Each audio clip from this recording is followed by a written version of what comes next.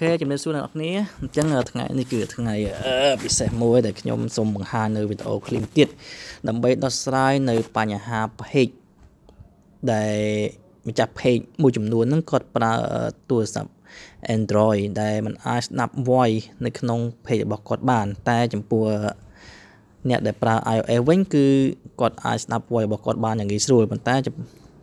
សំណាក្រក់ចំពោះអ្នកដែលប្រើ Android នោះគឺពុំអាចស្ដាប់បានទេនៅពេលយើងស្ដាប់តែតែ error ចំពោះស្ដាប់តែតែ error ចេញមកម្ដងសូម្បីតែខ្ញុំផ្ទាល់ដោយខ្ញុំផ្ទាល់ page របស់ខ្ញុំក៏ខ្ញុំបានស្ដាប់ដែរតែពេលខ្ញុំស្ដាប់ហើយវាគឺ error ជានិច្ច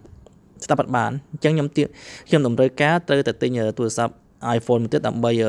ស្ដាប់ voice នៅក្នុង page របស់ខ្ញុំអញ្ចឹងថ្ងៃនេះខ្ញុំនឹងបង្ហាញនៅកម្មវិធីមួយទៀតសម្រាប់ម្ចាស់ page ទាំងអស់ដែលប្រើទូរស័ព្ទ Android ឲ្យបានស្ដាប់ voice ឬដូចជា iOS ដែរតោះចូលអរគ្នាអញ្ចឹងដំបូងឡើយគឺយើងចូលទៅក្នុង Play Store ដើម្បីដំឡើងកម្មវិធីមួយកម្មវិធីឈ្មោះថា Facebook Creator នេះដូចខ្ញុំសើខាងលើនេះយើងឃើញហើយនេះដោយសារតែខ្ញុំបាន download រួចហើយអញ្ចឹងខ្ញុំបើកតែម្ដងណាអញ្ចឹងពេលយើងបើកទៅយើងនឹងពេលយើងបើកទៅយើងឃើញនេះហើយយើងរត់ទៅរក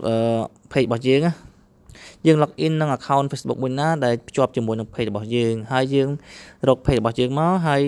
យើងរក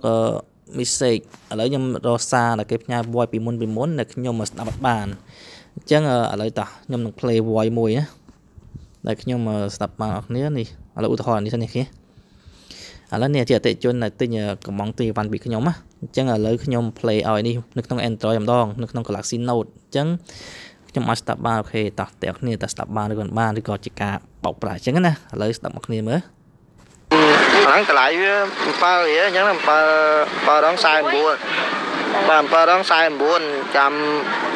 យកពីឡានទៅខ្ញុំប្រាប់ឡានរួចហើយអូខេអញ្ចឹងនេះស្ទាំងស្ដាប់ voice បានហើយថែមទាំងប៉ុណ្ណោះក៏យើងអាចផ្ញើ voice ទៅកាន់គេបានផងដែរឃើញមិនគេខួងក្រមហ៎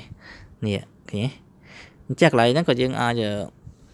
យើងចកត់ឲ្យជាប់ទៅក៏ផ្ញើបានខ្ញុំទៅផ្ញើគេគាត់មួយដែរនេះ voice 8 10វិនាទីអញ្ចឹងគឺយើងអាចតាប់ voice នៅក្នុងទូរស័ព្ទ Android បានតែម្ដងបាទសូមអរគុណចំពោះការទស្សនានៅវីដេអូនេះ